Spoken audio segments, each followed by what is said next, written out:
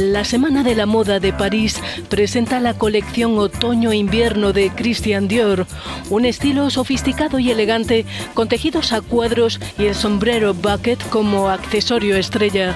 Una pasarela especialmente emotiva, la primera sin Karl Lagerfeld.